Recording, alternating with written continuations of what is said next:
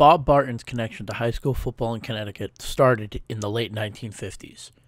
He recorded scores of games each year and shared his knowledge for some aspect of the selection process for more than half of the New Haven Register's first 87 All State teams.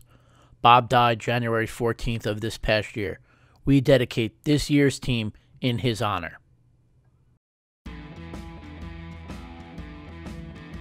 When you talk about number one St. Joe's, you talk about their defense. And when you talk about their defense, Mike Morrissey's name is the first one that comes to mind. The senior defensive lineman was a terror for opposing offenses all season. He had eight sacks to go along with 80 tackles, with 17 of them coming from behind the line of scrimmage, and he was tied for the state lead with 20 quarterback hurries. Morrissey was the leader, heart, and soul of the Hogs defense that allowed just 78 points this year, which was good for six points a game, and the Hogs recorded five shutouts. With his stats and leadership, Morrissey has been named the New Haven Register's State Player of the Year. Morrissey leaves St. Joe's with his name in the record book as the all time sacks leader for the Hogs and helped the Hogs win three straight state titles. Bobby Pattinson is a Newtown guy through and through. He played for the program and was an assistant coach before taking over the program three seasons ago as its head coach. Over that time, he's led the Nighthawks to a 31 4 record and finally led the program over the hump, winning a state title for the first time since 1992. Pattinson's Nighthawk team went 13 0 this year, beating Darien in the Class Double L state title game on the final play of the game. And for that, he has been named the New Haven Register All State Coach of the Year. Introducing the quarterback for the 88th New Haven Register All State First Team. Hands, Phoenix Billings. Whether it was with his arm or his legs, Billings was a force to be reckoned with on the field. As a senior, he threw for 1,822 yards and 28 touchdowns while only throwing four interceptions. On the ground, he added 504 more yards and 10 touchdowns, helping the Tigers to a 12 1 record and a spot in the Class L state championship game for the third season in a row. Billings finishes his high school career with 74 passing touchdowns, 31 rushing, and a 37 2 record to go along with two state championship titles. He will go on to play baseball for Jim Penders at the University of Connecticut. Hand quarterback, Phoenix Billings.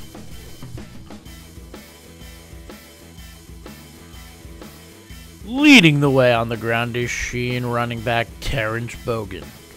After a crazy junior season, Bogan followed up his senior year with the same gaudy numbers. He rushed for over 2,200 yards and 29 touchdowns this season. And he saved his best for last when he rushed for 195 yards and two touchdowns to help lead the Titans to their first state championship since 1985. Bogan has left his mark on the Titans program. He finishes with over 5,700 yards and 77 touchdowns for his career. He is also the reigning outdoor New England 100 meter state champion and is almost always the lead in the school play. When you talk about the best running backs in the state, it's hard not to start with Hands Colin McCabe. The former rugby player turned to football before high school. And even though he switched sports, he continued to run through defenders. He rushed for 1,467 yards and 20 touchdowns this season, scoring in all but one game that he played in this season. The senior even played at linebacker on the Tigers' vaulted defense. In two seasons at running back, McCabe rushed for 53 touchdowns and over 2,800 yards. Over the past three seasons, he helped Hand reach the Class L title every year, winning back to back titles the previous two seasons. There aren't many big time players like St. Joseph running back Jaden Shirden. The senior had himself a season to remember. He rushed for 2,061 yards and 34 touchdowns, with 661 of those yards and 11 of those rushing touchdowns coming in the playoffs alone. He added three receiving touchdowns and one kickoff return for a score, while helping the Hogs go 13 0 to win the Class L state title and finish as number one team in the state for the first time since 1982. Shirden's career is a rarity. How many running backs can say they started all four years in high school and played in four state championships in that time? Well, Shirden can. He helped the Hogs win three straight titles in Class S, M, and L to end his career. He finishes his four years at St. Joe's with 107 total touchdowns, with 94 of them coming on the ground, along with 5,529 yards. Bursting on the scene late last season, Greenwich's A.J. Barber solidified himself as one of the top playmakers in the state this season. The wideout caught 42 passes for 745 yards and 15 touchdowns. Barber specialized with highlight catches and was really effective when he had the ball in his hands. He averaged 17.7 yards a catch and caught three touchdowns on three separate occasions this season. Barber led the Greenwich Cardinals to a 9 2 record and a spot in the Class Double-L playoffs. This is just another step for Barber, who will be a senior next season and will be able to build on his already 25 career touchdown catches.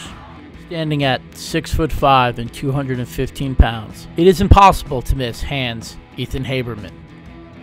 Hand quarterback Phoenix Billings rarely did, as Haberman became his favorite target this season, catching 42 passes for 912 yards and 13 touchdowns. Haberman stepped up this season, after Hand graduated a majority of their skills players from last year's team. The senior nearly doubled his career totals from this season alone. And due to injuries to the Tigers, Haberman was thrust into a defensive role, making two key interceptions this season. With Haberman's help, Hand went 12 and 1 and returned to the Class L state championship game for the third season in a row, winning the first two. Standing at six foot three and 260 pounds, Cheshire's Will Bergen made a difference on the offensive line this season for the Rams. With him leading the way, the Rams rushed for over 180 yards a game and 32 touchdowns this year as the Rams advanced to the postseason for the first time since 2010. Bergen also made himself known on the defensive line as well. He made 60 tackles, 10 of them for a loss, and recorded 4 sacks. There weren't many players in the state who meant as much to their team like Simsbury's Tommy Guilfoyle. The senior shined on both sides of the ball, leading the offensive line that helped the Trojans offense score 27 and a half points per game and on defense, he led the way at linebacker, making 161 tackles, 19 for a loss, and recorded three sacks and two interceptions. All of this helped the Trojans return to the postseason for the first time since 2009 and win the program's first ever playoff game. If you want to succeed, you run behind Matt Gulbin. And that's exactly what Wilton did this year. Behind Gulbin, the Warriors ran for 1,285 yards, and threw for another 2,192 yards as the Warriors went back to the postseason for the first time since 1995. He also chipped in on defense and made 31 tackles. Eight of them were for a loss, and he recorded one sack. He even got involved behind the line of scrimmage, scoring a pair of one yard touchdown runs. Harding's Troy Rainey was a problem to try and get past this season in the SEC. Playing on both sides of the ball, Rainey anchored the offensive line that allowed the Presidents to rush for 1,482 yards and throw for another 1,622 yards.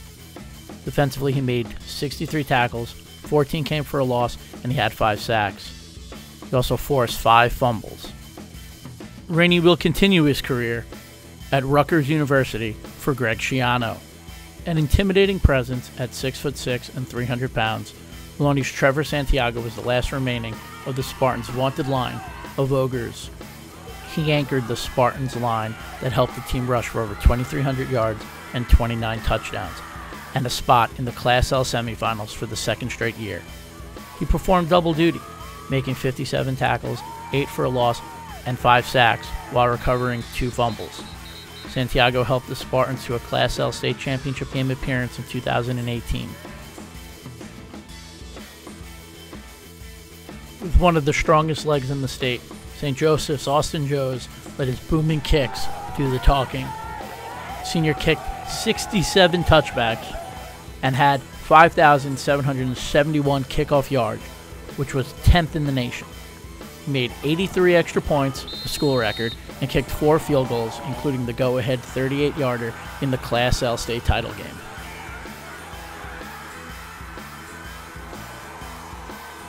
He also led the state with 95 points. He even chipped in on offense, catching 13 passes for 187 yards and three touchdowns. Was there anything Bloomfield's Anthony Simpson couldn't do this season? No, seriously. The senior rushed for 1,242 yards and 24 touchdowns.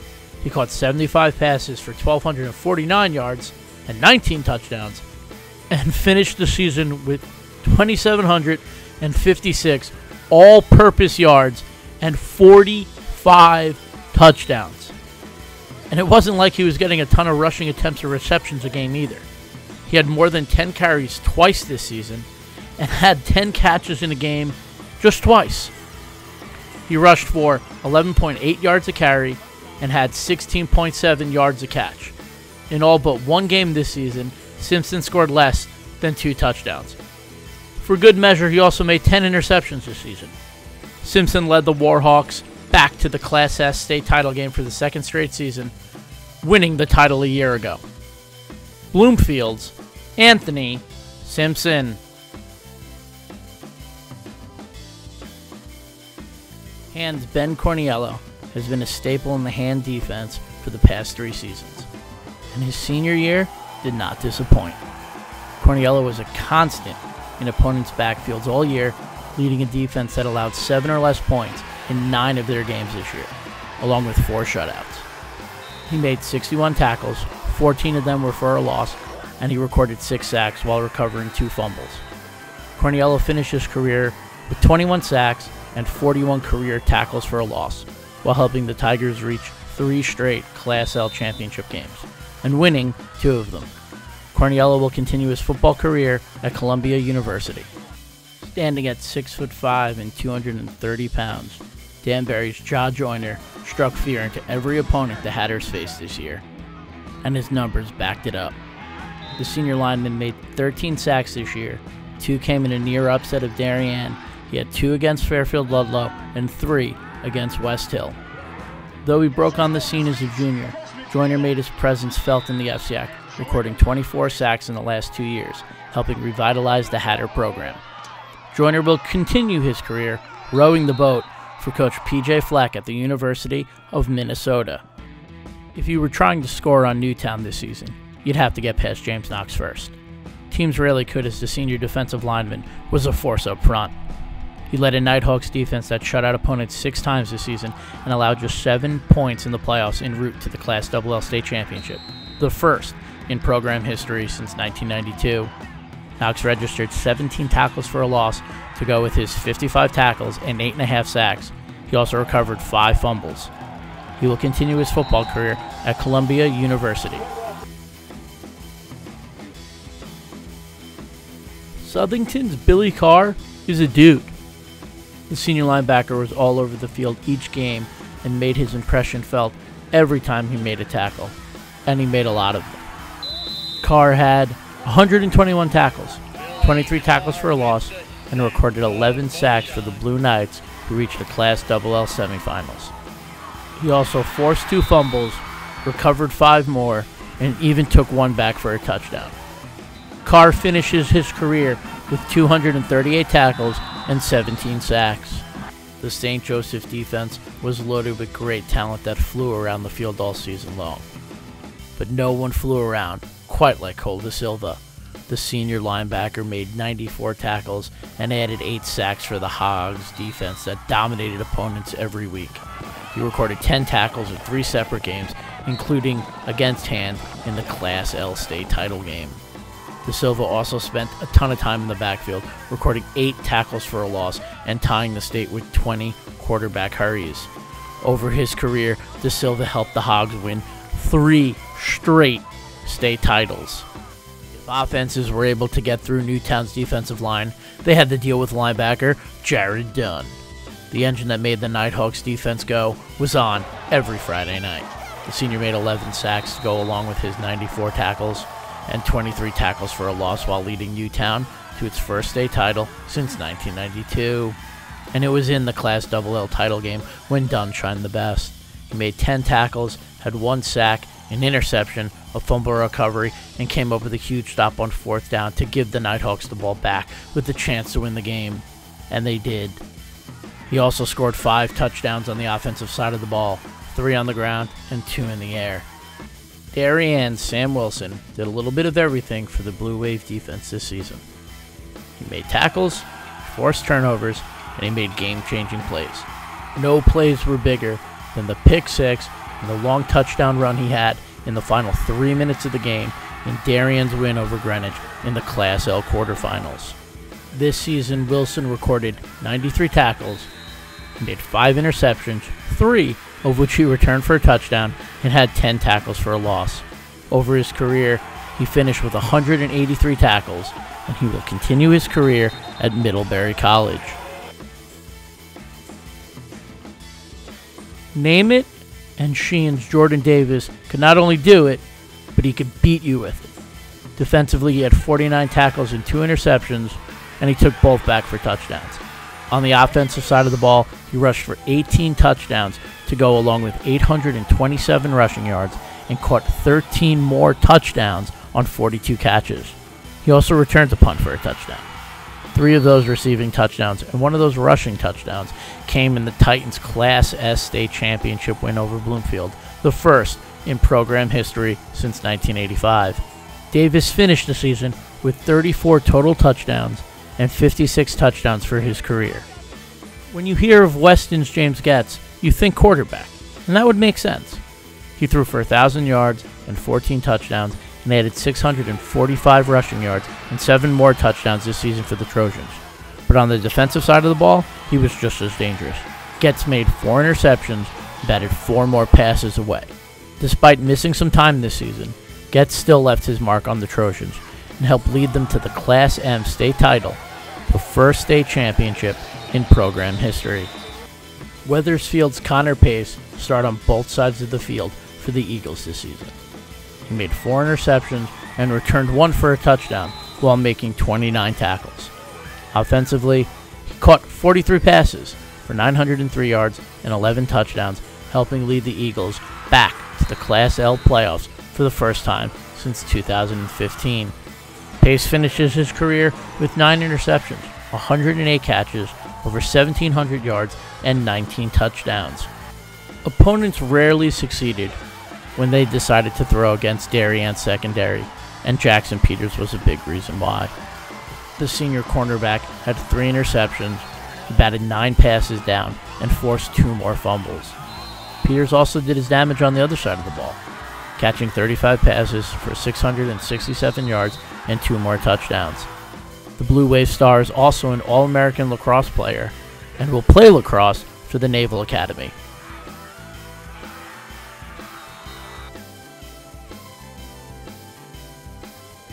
Jack Mulligan may have made a name for himself on the defensive side of the ball for Newtown, but his play as the team's punter helped put that defense in great position all season. He averaged 38.3 yards a punt and put 13 of his punts inside the 20 yard line.